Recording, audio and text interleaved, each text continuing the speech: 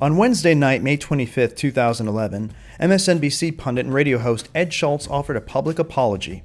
Known for his hyperbolic attacks on Republicans, Schultz crossed the line the previous Monday when he called conservative radio host Laura Ingraham a right wing slut. Schultz lambasted Ingraham on his radio show for criticizing President Obama enjoying a Guinness beer while visiting Ireland instead of being in tornado stricken Joplin, Missouri. Ingraham has since posted a response on her Facebook page regarding the crude comments made about me by Ed Schultz in his radio program. First, I was surprised to learn that Ed Schultz actually hosted a radio show. Is it only available online?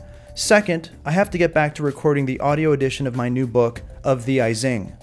Now I'm tempted to insert one additional zing about men who preach civility but practice misogyny. Schultz's mea culpa included, I am deeply sorry and I apologize, he said. It was wrong, uncalled for, and I recognize the severity of what I said.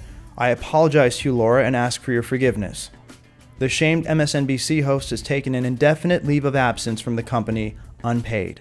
For more information on this topic, visit the link below. And for more stories from Mahalo News, visit any of the links above.